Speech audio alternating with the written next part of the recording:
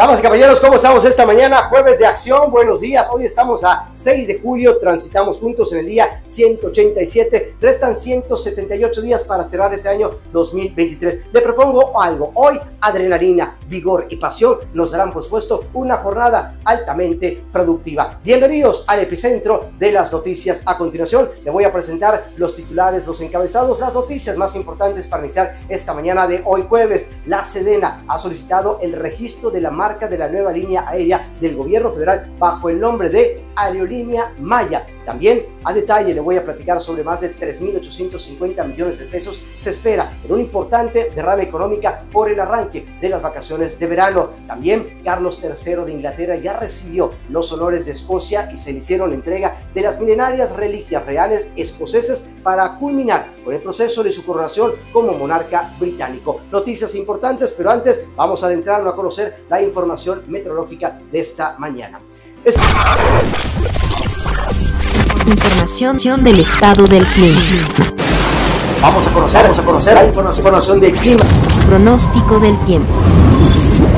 El Servicio Meteorológico Nacional, a través de un boletín, reporta esta mañana el avance de una onda tropical número 10 sobre el centro y sur del territorio mexicano, generando un potencial incremento de lluvias fuertes en la península de Yucatán. La imagen satelital de esta madrugada nos confirma un canal de baja presión extendido sobre el sureste de México y la península de Yucatán. Con esta, llamemos, interacción con una zona de inestabilidad al sur de las costas de Guerrero, de Oaxaca y de Chiapas, generando por supuesto así el ingreso de humedad del Océano Pacífico, del Golfo de México y del Mar Caribe. Esto estaría propiciando fuertes descargas eléctricas y lluvias en el territorio mexicano en general. Así que la recomendación de cada mañana es no olvide el paraguas o el impermeable, ya que promete ser una jornada de lluvias y descargas eléctricas aquí en Yucatán.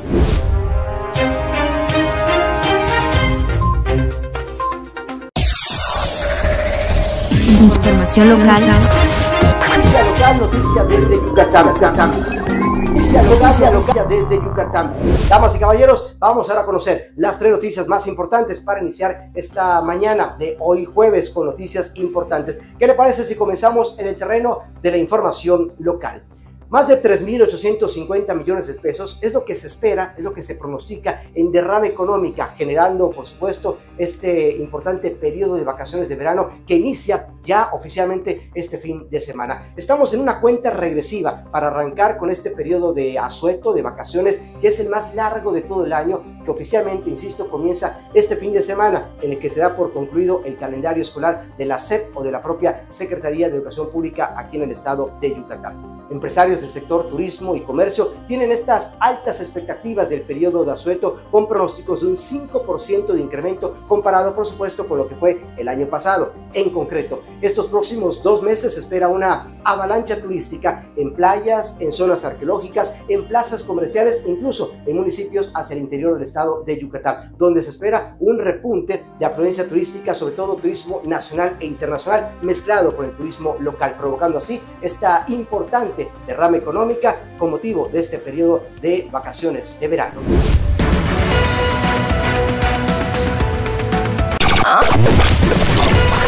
Información internacional. Información. Noticia internacional, noticia internacional relevante.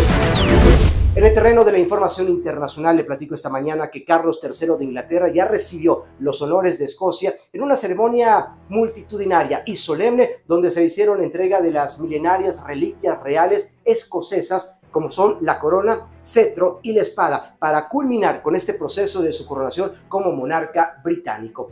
Esto ocurrió en la Catedral El Corazón de Edimburgo, la misma que despidió a la difunta Isabel II de Inglaterra el año pasado, donde se rubricó la entronización de su hijo Carlos III y de la reina consorte Camila, y con ello dando la continuidad de la dinastía de estos soberanos. El acto principal de su coronación en Londres en mayo le siguió, por supuesto, ahora esta entrega, insisto, de la corona de Escocia, su cetro y la espada de Estado, el nuevo rey, emulando así la liturgia que protagonizaron en aquel 1953 su madre Isabel II y su padre Felipe de Edimburgo.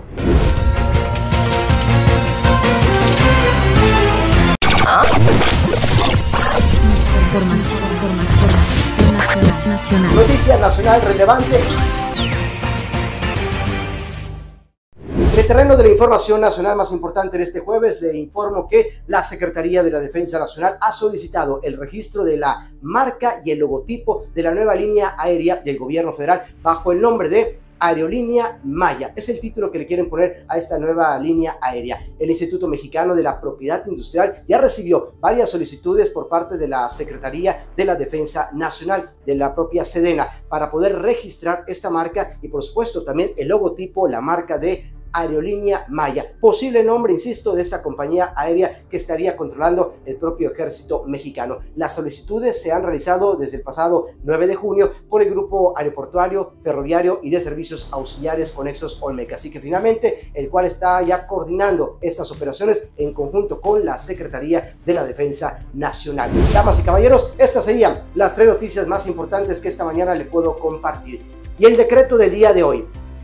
Comienza hoy enfrentando eso que te tiene asustado, aterrorizado. Hoy demos ese primer paso, aunque sea con miedo, pero demos hoy ese paso. Soy Antonio García, como cada mañana, gracias por darme esta oportunidad de saludarles a través de estas plataformas de las redes sociales. Recuerde, nos vemos, nos escuchamos y nos leemos aquí en las redes sociales. Feliz jueves, ánimo, buenos días.